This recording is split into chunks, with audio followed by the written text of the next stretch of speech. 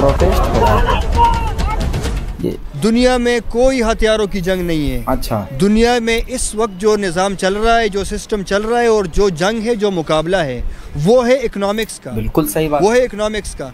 कभी भी चाइना जो है इंडिया को ना हड़प सकता अच्छा। है। ना उस पर कब्जा कर सकता है ना कभी इंडिया जो है चाइना पे एक- वो जो एक दूसरे को दबाने वाली बात है हाँ। कि मैंने इतने हथियार बना दिए मैंने उतने हथियार बना दिए चाइना ने ये मिसाइल लॉन्च किया उसने वो मिसाइल लॉन्च किया। ये जो है हथियारों की रेस जो है ये दुनिया में अमेरिका और रूस के बीच में भी चल रही है। और मेरे बेहतरीन दोस्त जो है वो उनमें से इंडियंस भी हैं। उनकी आवाम जो है मतलब हमारे साथ कोई दुश्मनी नहीं नहीं रखती। ये एक जहन में एक चीज़ बनाई हुई है कि हिंदू कहा जाएगा हिंदू तबाह कर लेगा। कौन सा मुल्क किस मुल्क को कहा गया? हाँ हाँ। रशिया यूक्रेन को नहीं कहा सका। हाँ। वो जो है ये इसराइल फ़लस्तीन को नहीं खा सका। सही अभी तक वो एग्जिस्ट कर रहा है। मतलब ये कौन किसको खा लेगा? ये मतलब ये इसकी जो है ये एक नैरेटिव है कि हिंदू पाकिस्तान को और, खा जाएँगे और इस और इस बुनियाद पे जो है मतलब कोई हिंदू पाकिस्तान को खाए या ना खाए हाँ। लेकिन बहुत सारे लोग पाकिस्तानी अवाम को खा गए। वहाँ पे जो है वहाँ पे इंडियंस हमसे ज़्यादा जो है फैसिलिटेट है। बिल्कुल। उनकी एम्बेसीज मैं आपको हमें कितने मसले चाइना में फेस करने हुए? कितने मसले हमारे आए?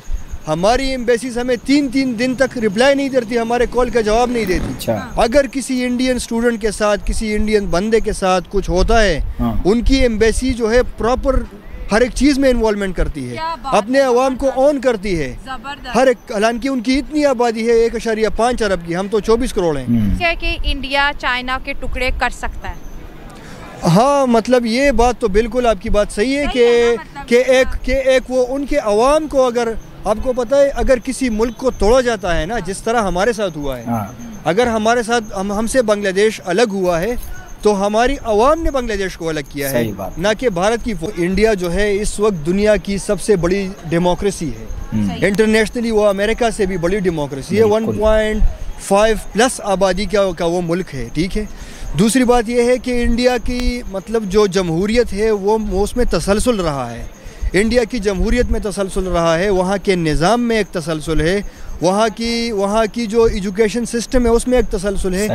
वालेकुम वरहमतुल्लाहि वबरकातुहू। उम्मीद करता हूँ आप लोग खैरियत से होंगे काफ़ी अच्छे होंगे। दोस्तों, आज की धमाकेदार रिएक्शन वाली वीडियो में आपका वेलकम है। ज़्यादा मैं कुछ कहूँगा नहीं, सीधा मुद्दे पर आता हूँ वीडियो को दिखाता हूँ। ये पाकिस्तानी जो है, वो इंडिया के बारे में भी बातें कर रहे हैं और इंडियन के बारे में भी बातें कर रहे हैं। और क्या बातें चल रही है, छोटी सी वीडियो आपने देख ली है। चलिए टाइम ना वेस्ट करके सीधा मुद्दे पर ही आते हैं और आज की पूरी वीडियो को सीधा लगाते हैं। आज से पहले कभी ना सुनी ना ही कभी देखी और ना ही कभी नज़र से गुजरी कि तिब्बत के अंदर चाइना के खिलाफ प्रोटेस्ट हो रहा है। अच्छा। चाइना के अंदर जो तिब्बत के रहने वाले लोग हैं वो प्रोटेस्ट कर रहे हैं और प्रोटेस्ट करते हुए उन्होंने ये भी बताया कि हमें इस वक्त इंडिया की जो है मदद चाहिए। अब ये प्रोटेस्ट क्यों हो रहा है? इसके बारे में बताते चले जाए कि चाइना की गवर्नमेंट तिब्बत में एक डैम बनाने जा रही है। अच्छा। अगर ये डैम वहाँ पर बन जाता है तो हज़ारों लोग बेघर हो जाएँगे। और जब वो उन्होंने प्रोटेस्ट निकाला है चाइना की इस पॉलिसीज़ के ख़िलाफ़, इस गवर्नमेंट के ख़िलाफ़। तो चाइना ने वहाँ पर जी लोगों के ऊपर तशद शुरू किया, उन लोगों को अरेस्ट किया। सौ के करीब बुद्ध को, जो बुद्धाज होते हैं, उनको अरेस्ट किया और हज़ारों जो है तिब्बत के लोगों को सर उन्होंने अरेस्ट कर लिया। और ये चाइना के ख़िलाफ़ होने वाला जो है दूसरा बहुत बड़ा प्रोटेस्ट है। इससे पहले भी जो है उइगर्स मुस्लिम ने जी प्रोटेस्ट किया था और हेल्प के लिए उन्होंने जो है दलाई लामा से कहा था कि हमें जो है इस मुसीबत से निकालें। जी जी। अ, मेरा नाम डॉक्टर मुबशर है और मैं बड़ा शुक्रिया अदा करता हूँ कि आपने मुझे यहाँ पे बात करने का मौका दिया। अच्छा। मैं ख़ुद जो है चाइना में पढ़ चाइना से पढ़ के आया हूँ अच्छा। और तकरीबन चार पाँच साल जो है वहाँ रह के आया हूँ। तो वहाँ पे जो सिचुएशन है नॉर्मली मतलब चाइना की पॉलिसीज़ के बारे में अगर हम बात करें तो वहाँ के सदर शी जिनपिंग ने चाइना को इकनॉमिकली एक लेवल पे वो लेके गया है और उसने ये बिल्ट एंड रोड इनिशिएटिव जो शुरू किया था वो भी एक लेवल पे शुरू किया है। अच्छा। लेकिन वहाँ पे जो अगर हम वहाँ की माइनॉरिटीज़ के बात करें जिस तरह पहले हुकूमतों में शी जिनपिंग से पहले एक हुकूमतों में हुआ था कि चाइना में फोलंगोंग जो वहाँ की माइनॉरिटी है अच्छा। और जो वहाँ पे अपनी परफॉर्मेंसेस करते थे अपनी इबादत करते थे पहले उनके ख़िलाफ़ भी चाइना में बहुत क्रैकडाउन हुआ था। अच्छा। और इसके अलावा जो है फिर तिब्बत में क्योंकि तिब्बत के लोग जो है वो दलाई लामा को सपोर्ट करते हैं वो बुद्धिज़्म को सपोर्ट करते हैं। अच्छा। और तिब्बत के में रिसोर्स वसाइल बहुत ज़्यादा है जिसकी वजह से जो है चाइना वहाँ पे जो है उनकी एक, एक जो मिनरल्स हैं जो वहाँ के रिसोर्स हैं उसमें से तिब्बत को शेयर देने की बजाय वो अपने हान चाइनीज़ और अपने दूसरे जो सिटीज़ हैं जो बीजिंग शंघाई है अपने ट्रेड्स हैं उनको डेवलप कर रहा है। अच्छा। जिसकी वजह से तिब्बत वाले लोग जो है अपने राइट्स के बारे में वो बात करते हैं। जब वो बात करते हैं तो उनके ख़िलाफ़ क्रैकडाउन होता है। और इससे पहले भी बहुत दफ़ा हुआ है इंटरनेट के रिस्ट्रिक्शंस हैं सोशल मीडिया बंद है कोई हमें सोशल मीडिया पर चाइना का कोई जो है इस तरह चैनल्स वगैरह नज़र नहीं आते मीडिया मीडिया कंट्रोल में होता है अच्छा। तो बहुत सारी मतलब चीज़ें ऐसी हैं जिसमें जो है आ, उनको अपने हकूक़ नहीं मिल रहे तो अगर अगर वो प्रोटेस्ट कर रहे हैं तो किसी वजह से वो अपने अंदाजे से ठीक भी हैं अच्छा। बाकी दूसरा सवाल आपने पूछा जो कि बड़ा एक दिलचस्प सवाल है कि मुसलमानों की वहाँ पे क्या हालात हैं या वहाँ हाँ। पे जो यूगर मुसलमान हैं क्योंकि हम यहाँ पे बहुत चाइनीज़ों से मिलते हैं जो यहाँ तबलीग के लिए आते हैं ट्रेड के लिए आते हैं और मोस्टली ऐसे होता है कि वो मुसलमान बड़े ख़ुद को बड़े खुश वो दिखाते हैं क्योंकि वो वो खुश मुसलमान लड़कियों से शादी करके चाइना चले गए अपना नाम मुसलमान बता के अपना सारा सर्टिफिकेट इस्लामी बनवा के। असल में अच्छा। बात ऐसी है ना जो यहाँ पे जो मुसलमान आते हैं ना इसमें से एक फ़र्क होता है। यहाँ जो मुसलमान आते हैं वो खुई मुस्लिम होते हैं। अच्छा। खुई मुस्लिम की तारीख ये है कि वो चाइनीज़ रेस के अंदर जो मुसलमान हैं वो यहाँ पे आते हैं तबलीग के लिए क्योंकि वो उनके अपने रेस के बंदे हैं। अच्छा। जो दूसरे रेसेस हैं जो वहाँ की माइनॉरिटीज़ है जिस तरह हमारे काशगर हो गया तिब वो उरमची हो गया और अक्सू हो गया जो बड़े बड़े शहर हैं जो हमारे पुराने तुर्किस्तान बिल्टन रोड के जो तुर, तुर्किश टर्किश इलाके हैं अच्छा। उनमें जो मुसलमान रहते हैं उनको यूगर मुसलमान कहते हैं। अच्छा। सबसे बड़ी बात यह है कि वहाँ पे उनको आज़ादी नहीं है मतलब बोलने की। मतलब वहाँ। पे जो है बहुत सारे लोग जो हैं वहाँ पे जेल जेलों में हैं बहुत सारे लोग कैद हैं वहाँ पे अच्छा। और उनको मतलब बहुत सारी रिस्ट्रिक्शंस हैं सर्वेलेंस हैं हर जगह पे सर्वेलेंस का बहुत बड़ा सिस्टम है वहाँ पे और मतलब उनके आवाज़ को उनके उसको दबाया जाता है हालाँकि अच्छा। वहाँ पे भी चाइना का 60 फ़ीसद गैस जो चाइना में यूज़ होता है वो वहाँ से निकलता है अच्छा। वहाँ पे सबसे ज़्यादा चट्टान ये जो मुख्तलिफ़ मिनरल्स और ये स्टोन्स जो होते हैं जिम स्टोन्स ये भी उन्हीं इलाकों से निकलते हैं सर यहाँ पे अच्छा। मैं आपको रोकूँगी एक सवाल रखूँगी देखें अगर गिलगिल बल्तिस्तान और कश्मीर की तरफ़ प्रोटेस्ट होता है तो उनका नारा होता है कि भारत इन्वॉल्वमेंट अपनी दिखाए और हमें रिहाई चाहिए। तिब्बत की बात करें तो चाइना ने तिब्बत के ऊपर जी कब्जा किया हुआ है। अगर चाइना तिब्बत पे कब्जा ना करता तो इंडिया की हदूद कभी भी चाइना से ना मिलती। हम्म। आज तिब्बत के लोग दलाई लामा क्योंकि जो इंडिया में बैठते हैं उन्होंने कहा कि हमें आज़ादी दिलवाएँ। और उनकी जो आपको पता है कि वहाँ पर जो एक आपने कहा कि तिब्बत लोगों की स्ट्रेंथ भी बहुत ज़्यादा है। तो लोहे गर्म लोहे पर इंडिया इस वक्त हथौड़ा अगर मारता है तो वो तिब्बत को कहीं ना कहीं आज़ादी दिला सकता है।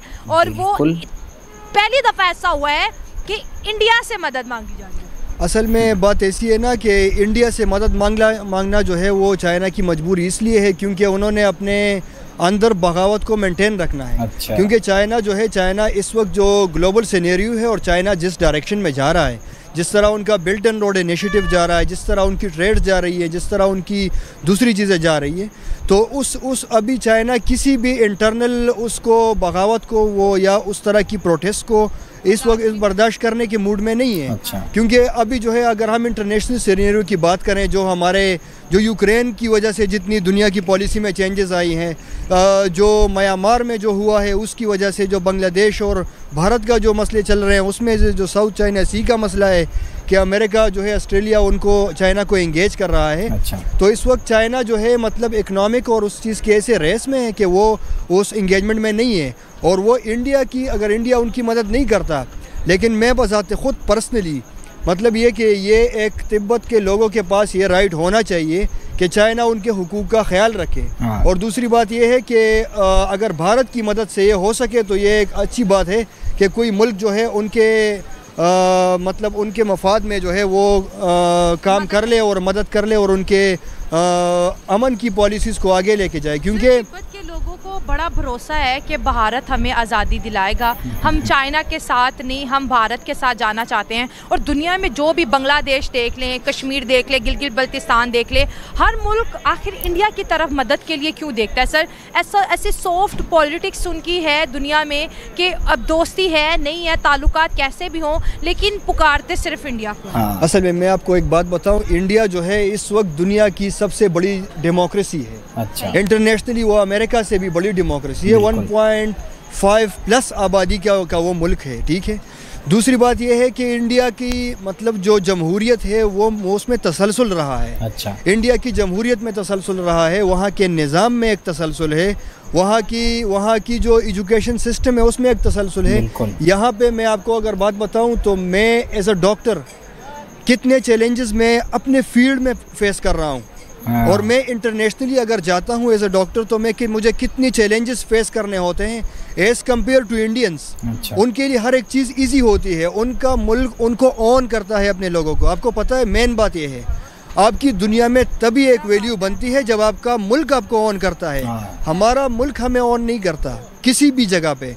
हम मतलब हम कहीं भी इंटरनेशनली अगर कोई कोई रियासत अपनी आवाम को ऑन नहीं करती तो दुनिया जो है वो उस रियासत को ऑन नहीं करती। सही बात। सही बात है सही बात है। अगर अगर कोई रियासत जो है ये नहीं है कि कोई रियासत गरीब है या कोई रियासत अमीर है। इसकी बात नहीं है अमीरी गरीबी किसी रियासत की अलग बात है। उसकी इकनॉमिक पॉलिसीज़ अलग लेकिन कोई रियासत अपने आवाम को ऑन करती है और उनके लिए ऐसी पॉलिसीज़ बनाती है जो उनकी इकोनॉमी को आगे लेके जाए। तो ना तो हमारी रियासत हमें ऑन कर रही है ना जो है हमें जो है हमारी पॉलिसीज़ को हमारे लिए ऐसी पॉलिसीज़ बना रही है कि उसको आगे लेके जाए। बस कुछ ही लोग हैं कुछ ही आ, वो हैं जो तबकात के तबके हैं या कुछ ही ख़ानदान हैं जो कि कुछ ही रैंक्स के लोग हैं जो कि सिर्फ़ जो है इस मुल्क के फ़ैसले करती है और अपने मफादात को लेके आगे जा रही है। और इसका नुकसान किसको है?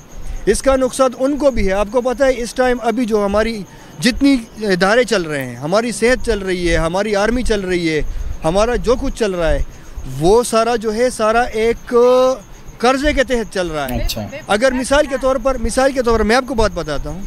दुनिया में हमारे जो हमारे सीनियर्स हैं जो हमारे जर्नेल हैं जो हमारे ब्यूरोक्रेट्स हैं जो हमारे सियासतदान हैं इनसे ज़्यादा बेहतरीन ज़िंदगी बाहर के सियासतदान भी गुजार रहे हैं। अच्छा। जिस तरह चाइना के ब्यूरोक्रेट्स हैं। लेकिन क्यों? उनकी अपनी ज़िंदगी भी अच्छी हो रही है और वो वो इकनॉमिक पॉलिसीज़ ऐसी बना के कि अच्छा हो रहा है? तो दोस्तों आज के लिए बस इतना ही। आज की वीडियो देखकर आपके माइंड में जो भी बातें चल रही हैं वो कमेंट बॉक्स में कमेंट करके ज़रूर बताइएगा। फिर मिलते हैं एक अच्छी सी रिएक्शन वाली वीडियो के साथ। पाकिस्तानियों के ऊपर रिएक्शन वाली वीडियो देखना अगर आपको पसंद है तो आप इस चैनल को सब्सक्राइब कर सकते हैं। फिर मिलते हैं एक अच्छी सी रिएक्शन वाली वीडियो के साथ। तब तक के लिए अपना ख्याल रखिए अपने घर वालों का ख्याल रखिए।